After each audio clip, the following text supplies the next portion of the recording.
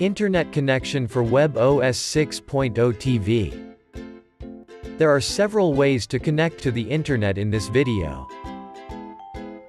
There is a shortcut to the internet connectivity option in the TV settings.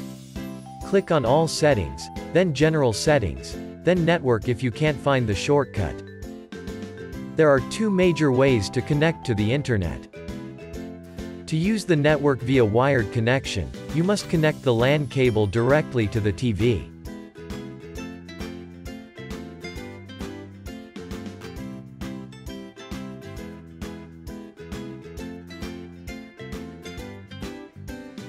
Another option is to use a wireless connection.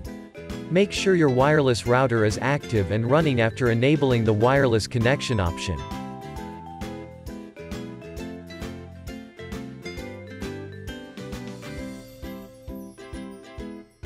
From the search results, select the name of the wireless router.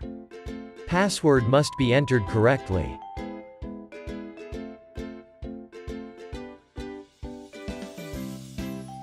There are other network connection options if you cannot connect using this process or if you have other network protocols.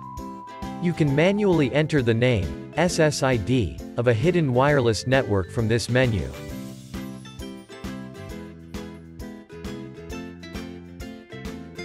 Select the correct security type. Connect with a valid password.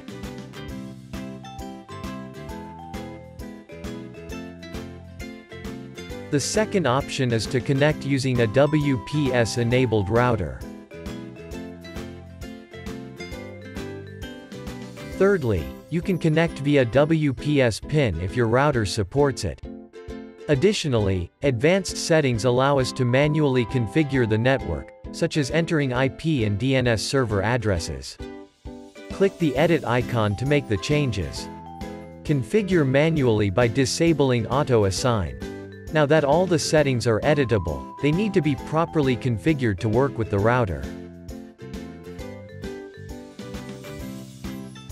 After you've finished, click Connect.